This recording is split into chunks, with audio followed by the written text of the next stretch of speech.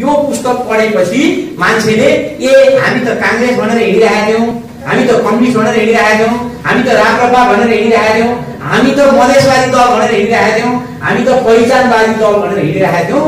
वास्तवमा त्यो भनेको अपुतन्त्रका ती अङ्ग हुन् रहेछन्। तिनका पछाडि लाग्नु भनेको चाहिँ पराई प्रतिमानको पछाडि लाग्नु।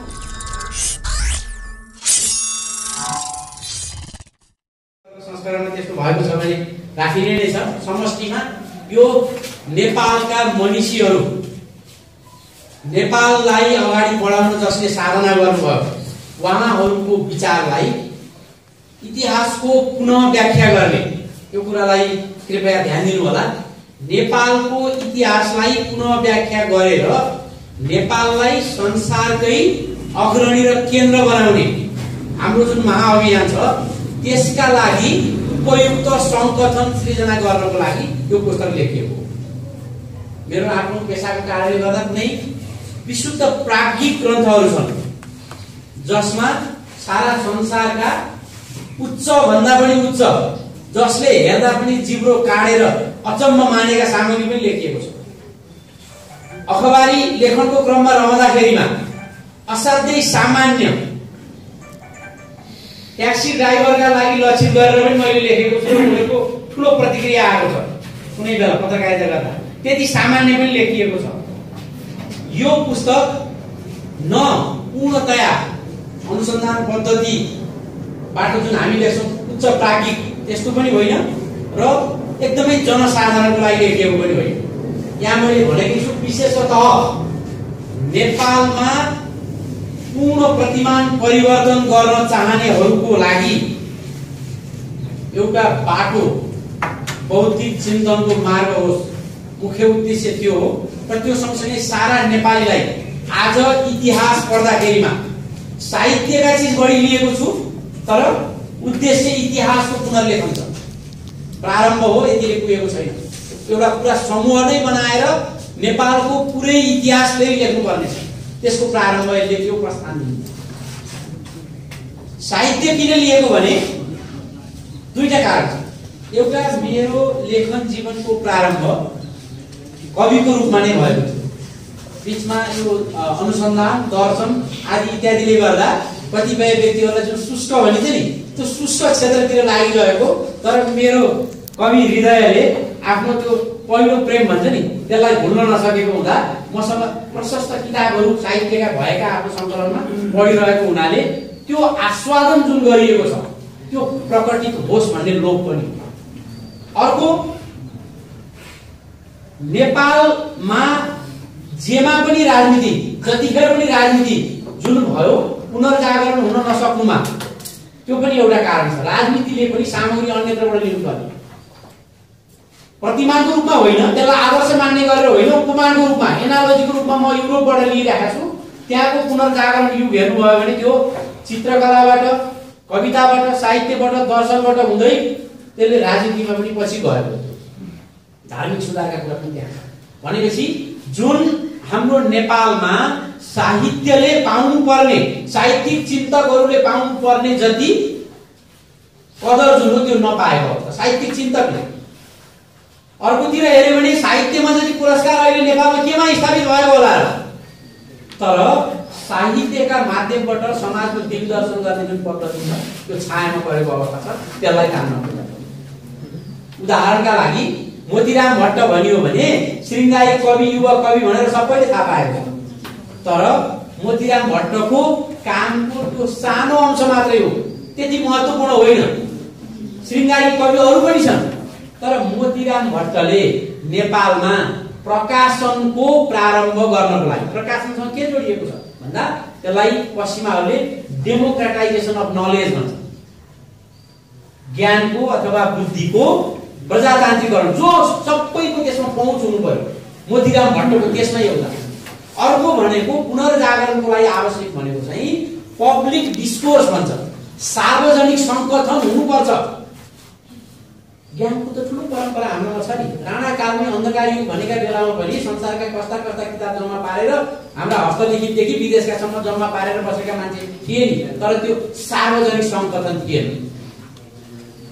जुन सार्वजनिक रूपमा बसेर पश्चिमतिर उनीहरूले चाहिँ कफी हाउसमा गरे हाम्रोमा चौतारामा बसेर होला पार्टीमा बसेर होला पौवामा बसेर होला गर्ने जुन पद्धति थियो नि राणाकालमा त्यो हटेको बेलामा उनले कवि मण्डली बनाएर चाहिँ कविताको मात्रै कुरा छैन कविताको माध्यमद्वारा उनले समाजका जागरणका कुरा र तत्कालीन अवस्थामा राजनीतिक कुरो गर्ने परिस्थिति पनि थिएन। राणाहरूलाई कति ठाउँमा भक्ति पनि लेख्नु पर्यो होला अलग कुरो तर हामी हेऱ्यौँ भने कुनै पनि पुनर्जागरण युगको नायकमा चाहिने त्यो भनेको सुसंयोजित एउटा मात्रै पाटो होइन विभिन्न पाटोबाट काम गर्नुपर्ने जुन प्रवृत्ति देखिन्छ नि त्यो मोतीराम भट्टमा देखिन्छ।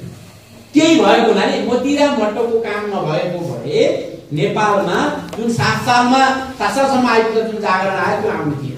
भलै मोतीरामले राजनीतिक पार्टी खोलेको होइन।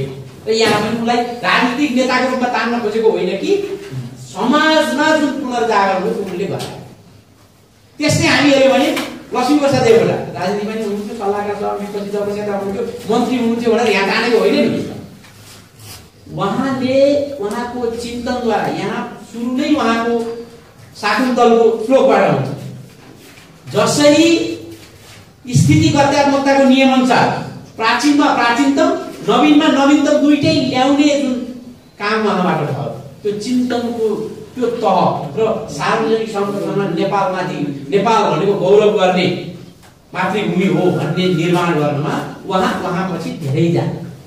यसैले आएको छ। हामी हेऱ्यौँ भने। जस्तो शुक्रराज शास्त्रीकै यो पुस्तक पढेपछि केही साथीहरूले यसमा दुःख प्रकट गर्न बेर छैन। किनभने एउटा निश्चित धार्मिक सम्प्रदायले त्यो सम्प्रदायको एउटा रक्तको रूपमा मात्रै प्रचार गरिरहेको अवस्था छ भने यहाँ चाहिँ नि त्यो सम्प्रदायको उहाँ हुनुहुन्थ्यो तर त्यति मात्रै होइन। उहाँ आर्य समाजको मात्रै होइन। आर्य समाजको हो तर नागरिक अधिकार समितिको सभापति पनि हो त्यो कुरो त्यो भनेको राजनीतिक सामाजिक काम नै हो। पृथ्वीनारायण शाह त्यस्तै गरेर पृथ्वीनारायण शाहको यहाँ किन बडो महत्त्व दिएको कारण के भने नेपाल वैदिक कालको निपगणले आवाज गरेदेखिबाट रहेको यो संसारको सबभन्दा पुरानो अविच्छिन्न सार्वभौम सत्ता भएको देश हो। तर इतिहासको एउटा बेलामा त्यो जुन दुरवस्थामा थियो त्यो अवस्थाबाट उम्काएर नेपाललाई प्रखर रूपमा असल वैदिक भूमि बनाउने जुन सङ्कल्प पृथ्वीनारायण शाहको थियो त्यो पुनर्जागरणको पहिलो सुसंयोजित प्रारम्भ थियो। त्योभन्दा अगाडि पनि यहाँ प्रशंसा गरिएको छ। मध्यकालमा भएका कामहरू पनि यहाँ प्रशंसा छ। मल्लकालका राजाहरूले गरेको पनि। तर सुसंयोजित तवरले एउटा पाटोमा मात्रै होइन कि सारा नेपाललाई समष्टिकृत रूपमै म अगाडि बढाउँछु।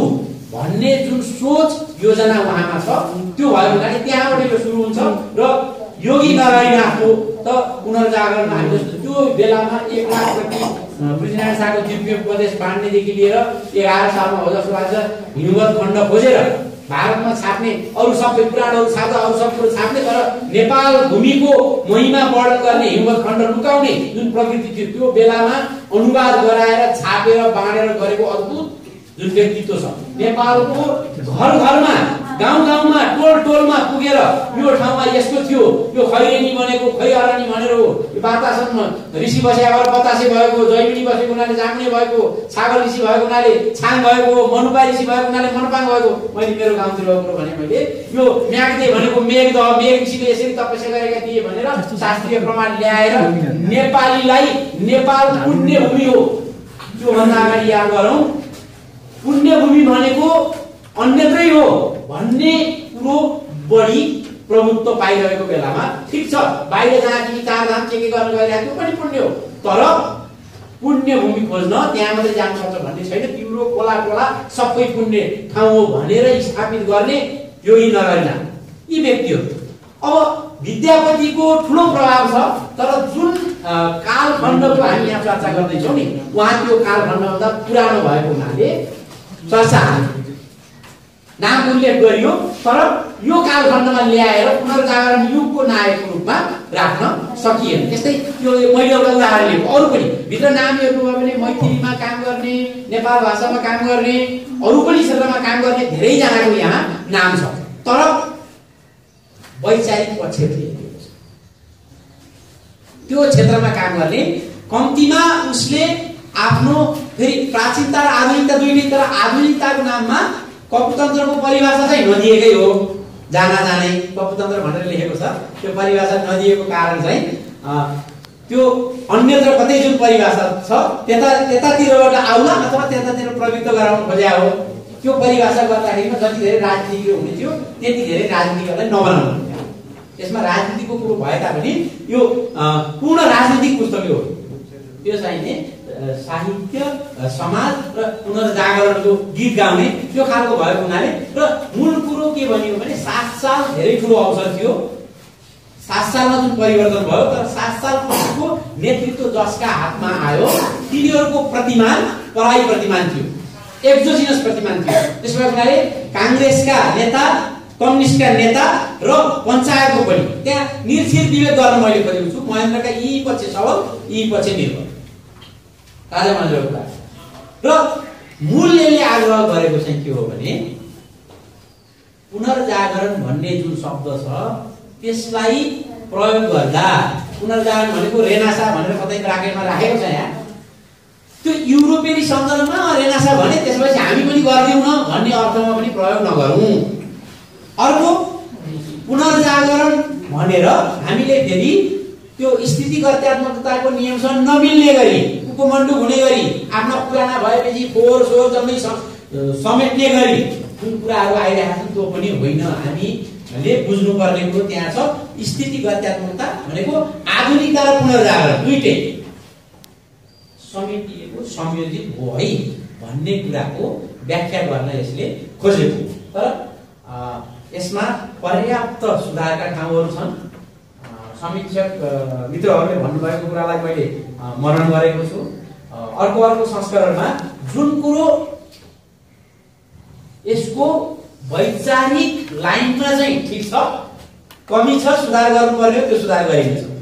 उदाहरणलाई अर्थ र आधार भनेको छ आठवटा चाहिँ अध्याय आधारमै वरिपरि गएको छ अर्थमै गएको छ आधारको लागि एउटा मात्रै लेखेको छ त्यो किन त भन्दा अहिले कतिपय कुरा धेरै व्याख्या गर्ने बेला नभइसकेको हुनाले। यो अलिकति कुनै पनि कुराको लागि सम्पथन गर्नको लागि माहौल पनि बनाउनुपर्छ। यदि यो अभियान सुरु नभएको भए र राज्य राष्ट्र भन्ने पुस्तकले एक किसिमको बौद्धिक तरङ्ग नल्याइसकेको भए यो किताब निक्लिने बेला भएको थिएन। अब यो किताबले एउटा जुन तरङ्ग ल्याउँछ नि त्यसको आधारमा जुन अन्तिमको आधार सुनिश्चित आधार भन्ने जुन एउटा चाहिँ अध्याय छ त्यसको मात्रै व्याख्या गरेको पुस्तक आउँछ। म यहाँहरूलाई यो प्रतिबद्धता व्यक्त। मूल कुरो यसमा लुकाउनु पर्ने छिपाउनु पर्ने कुरो केही पनि छैन। यो पुस्तक पुस्तक बेच्नको लागि पुस्तक बेचेर कृति यो पनि निकाले भन्नको लागि होइन। त्रिचालिसवटा मेरा पुस्तक निक्लिसकेका छन्। विदेशबाट पनि निक्लिया छन् नेपालबाट पनि निक्लिया छन् नेपालीमा निक्लिया छन् अङ्ग्रेजी सदर भाषामा पनि निक्लिया छन् यो मूलत महाअभियानकै लागि लेखिएको। लुकाउनु पर्ने कुरो केही छैन लेखकीयमा यहीँभित्रै लेखेको छ। विशेषतः जरगिरो महाअभियानका सदस्यहरूलाई उपयोग होस् भनेर। तर सँगसँगै त्यति मात्रै होइन नेपालमा एउटा प्रभावी निर्णायक हस्तक्षेप गर्नलाई लेखेको यो पुस्तक पढेपछि मान्छेले ए हामी त काङ्ग्रेस भनेर हिँडिरहेका थियौँ कम्युनिस्ट भनेर हिँडिरहेका थियौँ। हामी त राप्रपा भनेर हिँडिरहेका थियौँ। हामी त मधेसवादी दल भनेर हिँडिरहेका थियौँ। हामी त पहिचानवादी दल भनेर हिँडिरहेका थियौँ। वास्तवमा त्यो भनेको अपुतन्त्रका ती अङ्ग हुन रहेछन्। तिनका पछाडि लाग्नु भनेको चाहिँ पराई प्रतिमानको पछाडि लाग्नु रहेछ। नेपाललाई यदि हामीले श्रेष्ठ बनाउने हो भने नेपाल